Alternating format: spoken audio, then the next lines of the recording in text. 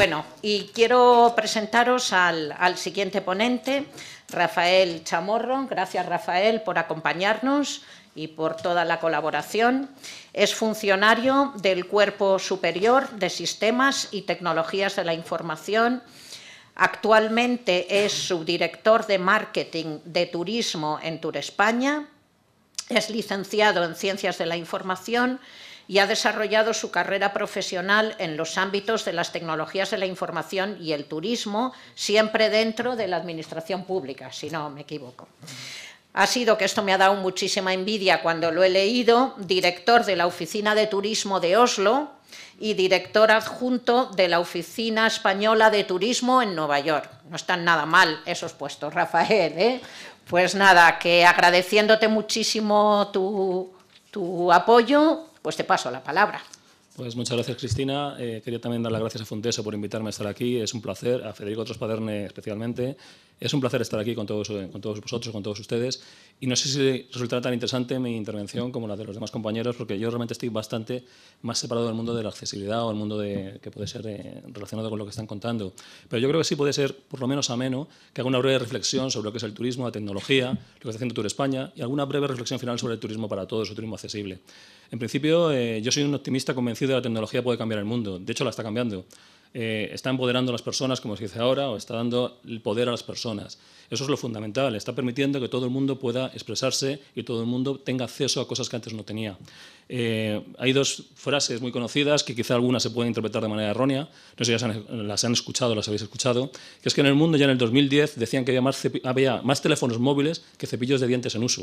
Es decir, la mayoría de la gente del tercer mundo considera ya que tener un teléfono móvil es algo fundamental y tener un cepillo de dientes todavía no lo ven tan claro. Con lo cual es increíble, esto es una frase muy conocida, es del año 2010 de la Asociación Asiática de Marketing, y da idea de cómo el mundo está cambiando. Otra eh, cosa relacionada con esto que puede también dar lugar a una cierta negatividad es que el usuario de un móvil cada día lo mira 150 veces de media. Es decir, el mundo, queramos que no, está cambiando. En el mundo tenemos ya el móvil en nuestros bolsillos que nos permite hacer un mundo de información increíble.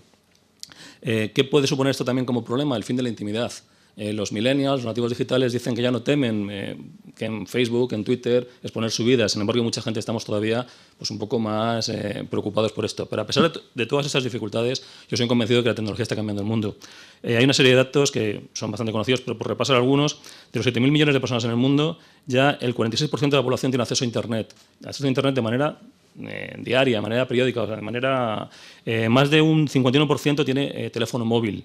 Más de un 31% son usuarios de las redes sociales. O sea, es increíble. La tercera parte de la humanidad usa las redes sociales de manera constante y de manera periódica. Evidentemente el mundo ha cambiado. ¿Qué tenemos? Bueno, en un minuto de Internet, otros datos muy conocidos. En un solo minuto de Internet, este dato es de hace un año, lo dio Intel. Por ejemplo, se escuchan 31.000 horas de música en un minuto de Internet. se ven 10 millones de anuncios. Se mandan 7 millones de mensajes se suben 138.000 horas de YouTube. Es decir, eh, la revolución digital es imparable y la revolución digital nos tenemos que unir a ella. ¿Qué estamos haciendo en turismo? ¿Qué está pasando en el turismo? Bueno, el turismo hay, es la primera industria del mundo, de las primeras sin duda. El año pasado visitaron eh, internacionalmente, de un país a otro se desplazaron 1.100 millones de personas, es decir, 1.100 millones de personas se desplazaron de un país a otro por motivos de vacaciones, por motivos turísticos. Es realmente increíble. Y España, curiosamente, aquí somos líderes mundiales. Digo curiosamente porque muchas veces tenemos una cierta estima baja y aquí eh, España siempre ha sido los últimos 30 años el primero, el segundo, el tercer país, normalmente el segundo y el tercero receptor de turistas internacionales. Ahora estamos el tercero, China también está ahí, recibimos 68 millones de turistas internacionales y el 5% de los turistas internacionales vienen a España. Es decir, somos quizá la única industria que en España, el 5% de lo que pasa en el mundo pasa en España. De esos 1.100 millones, 68 vienen a España. Con lo cual, realmente tenemos que estar en la tecnología. Evidentemente, el turismo y la tecnología tienen que estar unidos. Eh, ya el turismo, además, la tecnología ha revolucionado el mundo del turista. Antes, lo que os comentaba, la persona se ha empoderado. Antes el turista decidía venir a un país porque se lo comentaba alguien o sus familiares o él tenía mucho interés y se estaba ese país, pero tenía que ir a una oficina de turismo o tenía que ir a una agencia de viajes. Ya no. Ya en su móvil, en su bolsillo, en Internet, puede usar la tecnología antes, durante y después del viaje. Esto es una cosa muy conocida, pero realmente ahora es verdad. Antes del viaje, para inspirarse, decidirse y comprar. Durante el viaje, para eh, permitir eh, tener experiencias nuevas. Por ejemplo, eh, nosotros estamos ya muy interesados en que el turista, sabéis que el roaming va a terminar en la Unión Europea dentro de relativamente poco, Pues que todo está geolocalizado. Ya hay múltiples fuentes de información que permiten al turista, cuando está ya en, el destino, saber eh, cuál es el románico, la iglesia románica más cercana o que le avise de algo que está pasando en ese momento justo. Y hay aplicaciones súper curiosas. Nosotros en turismo nos ofrecen muchísimas ideas, tanto de promoción como de conocimiento. Por ejemplo, ya hay aplicaciones que permiten dejar mensajes en un lugar determinado geolocalizado. Me contaron una aplicación muy bonita, por ejemplo, el Camino de Santiago, que lo estáis haciendo y de repente pases por una parte del Camino de Santiago y en ese punto tu teléfono te avisa de que a lo mejor tu padre cinco años antes te dejó un mensaje. Son aplicaciones que veis preciosas y que permite a las personas eh, pues, tener mucho poder. Tú puedes visitar cualquier parte del mundo y dejar un mensaje geolocalizado para que después cuando tu amigo pase o simplemente alguien que tú quieres comunicarle, imaginaos el turismo accesible, imaginaos que tenéis eh, veis una ciudad y de repente veis algo que es interesante para alguien que pueda tener esa, dificultad auditiva o motora o simplemente una mujer embarazada. Y podéis recomendar con un mensaje en una aplicación móvil que al pasar por ahí esa persona tenga ese mensaje. Realmente, como veis, el mundo, eh, las posibilidades de tecnología en todo, en turismo y en algunas cosas son absolutamente increíbles. Eh, ¿Qué pasa? El mundo es una realidad, está siempre interconectado. Ya como, como os comentaba, o como sabéis, eh, la mitad de la población usa Internet de manera habitual, tiene móviles, pero esto va a ir a más. Es decir, dentro de unos años Internet será ubicuo, el Internet de las cosas. Eh, eso va a permitir una serie de ventajas para todos los turistas, para la humanidad, para el turismo accesible increíbles. Por ejemplo, sabéis ya con las tecnologías tipo RFID, por ejemplo, se pueden pagar un pasaporte y ni siquiera hará falta pararse, ya está en alguna, yo lo he visto ya en algún sitio, a la hora de pasar una aduana. A la hora de pasar una aduana, simplemente con tu pasaporte informará a un, a un receptor que está cerca de tu pasaporte y podrás pasar inmediatamente tan solo acercándolo. Yo lo he visto ya en algún aeropuerto inglés, en algún aeropuerto también americano, que simplemente con eh, acercar el pasaporte, si tiene inteligencia, te permite pasar directamente por la aduana. Eh, las posibilidades que permite esto son increíbles. Es decir, ¿qué tenemos que hacer? Sobre todo, tener conocimiento, tener información. ¿Qué estamos haciendo? Lo digo para no, para no alargarme demasiado. ¿Qué debemos hacer con todo esto? Bueno, pues eh, con este conocimiento también que dan las tecnologías, nuestra obligación eh, de Turismo España, es el organismo eh, de promoción exterior de turismo español, es traer turistas a España. Queremos que lo hacemos bien porque el turismo va francamente bien, pero lo que queremos hacer es hacerlo todavía mejor. ¿Pero qué hacemos con esto? Conocimiento, tecnología. Eh, lo que hacemos es evaluar montones de fuentes de información y tener oficinas en cada mercado. Tenemos oficinas en China, oficinas en Alemania, en Estados Unidos, en Francia, en 33 oficinas en el mundo. Lo que hacemos es estudiar esos mercados y para cada uno de esos eh, mercados decidir qué es lo que quiere ese turista cuando viene a España. Es decir, qué busca un chino cuando viene a España, qué busca un francés cuando viene a España o qué busca un americano cuando viene a España. Por ejemplo, al francés le interesa el sol y playa le interesa la cultura, pero al chino no le ofrezcamos sol y playa porque el chino tiene unas playas espectaculares en Tailandia, en la propia China, o el americano, mm, es raro que se desplace a Málaga para ir a nuestras playas, pero sin embargo sí vendrá a Málaga para ver los nuevos museos, el Museo Picasso, el Museo Thyssen nuevo de Málaga, con lo cual esta inteligencia de mercado lo que hacemos es intentar ofrecer a cada turista lo que creemos que busca nuestro país. Y para eso usamos la tecnología. ¿Cómo? Bueno, pues, por ejemplo, un tema es la publicidad. Ahora vamos a una publicidad mucho más segmentada, una publicidad mucho más útil para el usuario. Si el usuario, determinados por sus patrones de navegación, que le interesa algo, lo que hacemos es mostrárselo más en el momento que esté decidiéndose. Esto es muy interesante, está revolucionando el mundo. Es publicidad personalizada y para cada uno.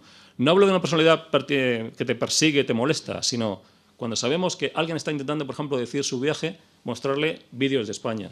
Cuando sabemos que alguien ya se ha decidido por venir a España, mostrarle vídeos o cosas que le puedan apasionarse sobre España, algo que quizá no conocía, y en ese momento le mostramos ese vídeo, esa información. Y cuando esa persona ha decidido ya venir a nuestro país y hacer algo, ya permitirle y mostrarle cómo puede comprar nuestro viaje. Esto tiene unas repercusiones también para, para, absolutamente todo el mundo. Si la inteligencia avanza para el bien y sabemos esos datos, tramitarlos, eh, eh, hacerlos de manera adecuada, podemos ofrecerle a cada persona realmente lo que está buscando. Lo que dice en el marketing. El marketing no es crear necesidades, es satisfacer necesidades. Yo como subdirector de marketing me lo creo. Lo que queremos es la gente tiene necesidad de viajar, que es un derecho. El que todos podamos viajar y todos tengamos la posibilidad de disfrutar otros países, otras ciudades, otras culturas, satisfacer esa necesidad, ofrecerles lo que están buscando y que todo el mundo tenga la posibilidad de viajar a otro país y que sea fácil para ellos.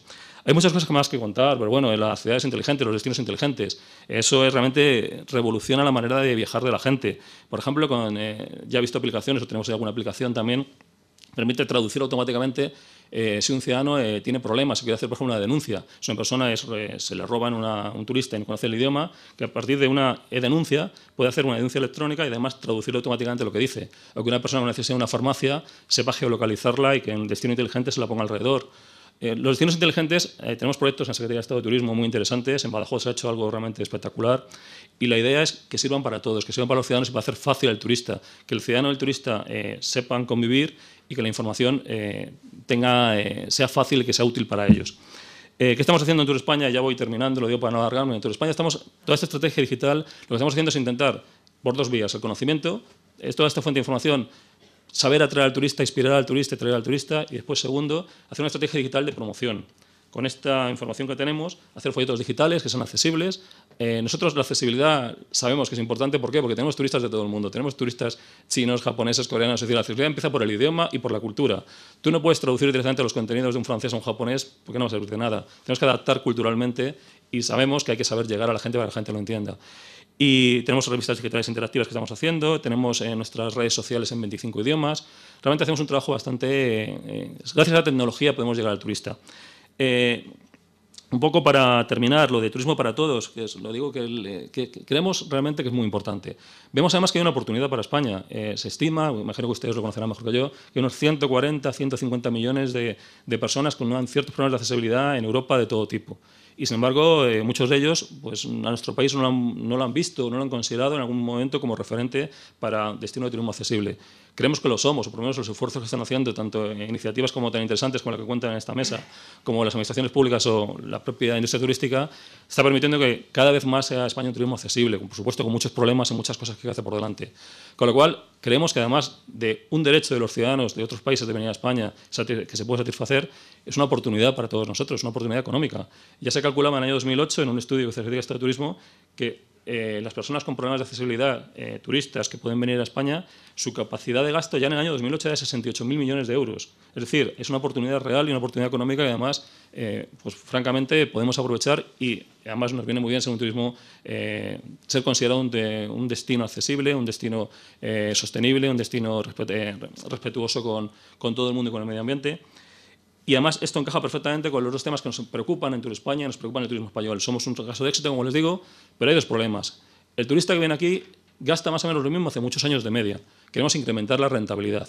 Con lo cual, el turismo accesible es un turismo que además la gente normalmente viaja con más gente, viaja con familia, viaja con amigos o viaja con grupos, con lo cual es un turista además que es muy rentable para, para, para, la sociedad.